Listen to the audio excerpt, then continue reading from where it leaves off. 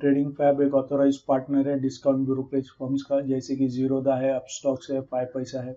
अगर आप इन तीनों में से कोई एक ट्रेडिंग अकाउंट हमारे पार्टनर रेफरल आईडी के अंडर अगर आप ओपन करते हैं तो आपको हमारी जो इंट्राडे प्रीमियम मेंबरशिप है, वो आपको एब्सोल्युटली फ्री में मिल सकती है। उसके लिए आपको करना क्या है?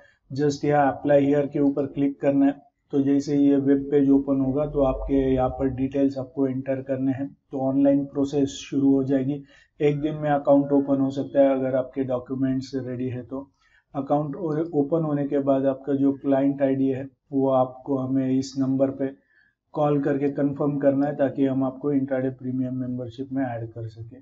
तो ये एक छोटा इंट्रो था ट्रेडिंग फैप के बारे में।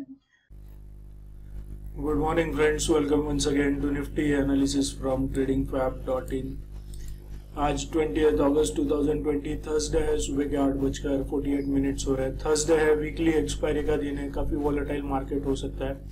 सबसे पहले कल के एनालिसिस का एक क्विकली रिव्यू करते हैं। ये कल का पिक्चर है, यानी nineteen August after market are से पिक्चर लिया हुआ है। कल का वीडियो अगर आपको देखना है तो ऊपर या बटन में आपको उसकी लिंक मिल जाएगी। तो कल के प्लान के अकॉर्डिंग हमारा ब्रेकआउट लेवल बन रहा था इलेवन जो कि रेजिस्टेंस का लेवल था। कल हमने ऑप्शन चेन का डेटा देखा था, वहाँ पर काफ़ी सारे हुआ है पोजिशन ओपन थे इलेवन थाउज़ेंड फोर हंड्रेड के पास कॉल सेगमेंट में। तो यहाँ पर कल गैप अप ओपन हुआ, लेकिन सस्टेन नहीं कर पाया ऊपरी लेवल्स पे और टूवर्ड साउथ की तरफ़ जब ये आया तो एग्जैक्ट ब्रेकआउट लेवल के पास इसने रेजिस्टेंस फेस किया और हैमर जैसा कैंडल स्टिक यहाँ पर इसने फॉर्म किया। और उसके बाद फिर से जब ये ऊपर की तरफ़ मूव किया तो इसने 11,439 ये हमारा सेकेंड टारगेट भी यहाँ पर अचीव किया। और फिर जहाँ पर एग्जैक्ट सुबह इसने रेजिस्टेंस फेस किया था वहाँ पर ही इसने फिर से एक बार हर्डल फेस किया और फिर से टूवर्ड साउथ की तरफ़ आके ये क्लोज हुआ। तो ऊपरी लेवल्स पे यहाँ पर काफ़ी दिक्कत हो रही थी निफ्टी इंडेक्स को सस्टेन करने के लिए। तो कल के प्लान के अकॉर्डिंग अगर ट्रेड करते तो अराउंड सिक्सटीन पॉइंट का यहाँ पर ट्रेड करने का मौका था और टेन लॉट के हिसाब से अगर ट्रेड करते अराउंड ट्वेल्व थाउज़ेंड का यहाँ पर प्रॉफिट बन सकता था। तो ये था कल के एनालिसिस का एक क्विकली रिव्यू ग्लोबल मार्केट की हालत देख लेते हैं। कल अमेरिकी बाज़ार 64 पॉइंट के गिरावट के साथ बंद हुए फेडरल रिज़र्व ने थोड़ी आशंका जताई है इकोनॉमिक रिकवरी के बारे में। उसके बाद थोड़ा प्रेशर आते हुए देखने को मिला है। यूरोपियन मार्केट भी देखे तो कल तेज़ी करते हुए हरे निशान में बंद हुए। लेकिन आज एशियाई बाज़ार जब खुले तो S G X Nifty 132 point की गिरावट दिखा रहा है। जापानीज इंडेक्स भी 161 पॉइंट की गिरावट दिखा रहा है। लगभग सभी एशियाई बाज़ार इस समय लाल निशान में ट्रेड कर रहे हैं। डाउ फ्यूचर देखे तो 196 पॉइंट की गिरावट के साथ ट्रेड कर रहा है। तो ओवरऑल ग्लोबल मार्केट में ज़बरदस्त इस वक्त कमज़ोरी देखने को मिल रही है। चलते डेली निफ्टी के चार्ट पे पहले मंथली चार्ट को फिर से एक बार एनालिसिस करेंगे।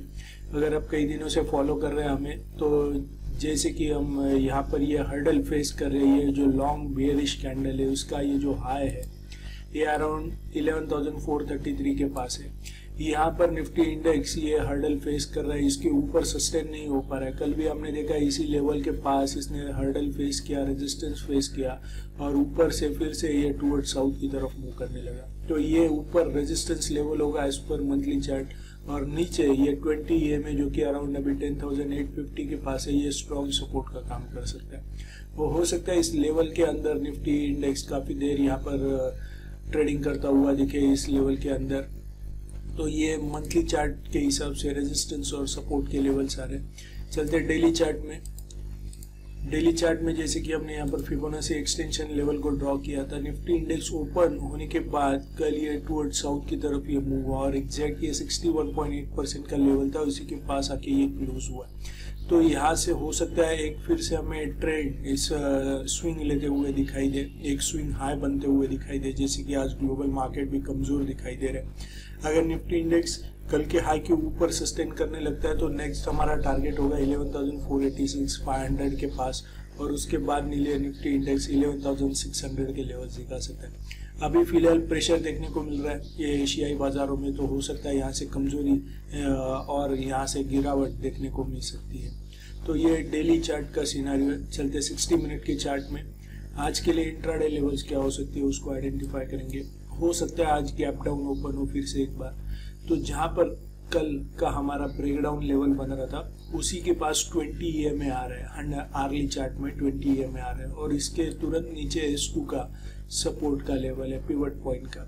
तो ये कंफर्टेबली ब्रेक होने दीजिए 11,354 ये अगर ब्रेक होता है जहाँ पर इसने कंटिन्यूस रेजिस्टेंस फेस किया ये आप देख सकते हैं यहाँ पर ये यहाँ पर ये यहाँ पर। तो हो सकता है यहाँ पर सपोर्ट टेस्ट uh, करे। तो ये अगर सपोर्ट ब्रेक होता है तो ही इंट्राडे के लिए हम शॉर्ट पोजीशन बना सकते हैं। और तभी हमारा फ़र्स्ट टारगेट होगा 11,337 ये हमारा फ़र्स्ट टारगेट होगा और सेकंड टारगेट होगा 11,324 ये हमारा सेकंड टारगेट होगा। अगर एक्सट्रीम गैप डाउन ओपन होता है तो इन लेवल्स के नीचे सेकेंड टारगेट के नीचे सस्टेन होने दीजिए।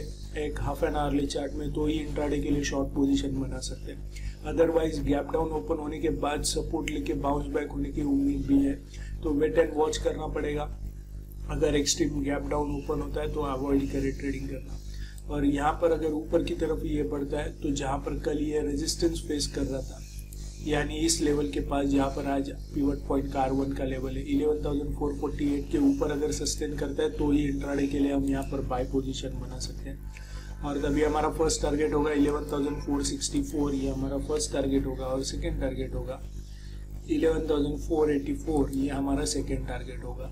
तो ये आज के लिए निफ्टी के इंट्राडे लेवल्स अगर आपको ये वीडियो एनालिसिस अच्छा लगा हो तो लाइक शेयर कमेंट ज़रूर करें और सब्सक्राइब करना ना भूलें। So thank you very much and happy trading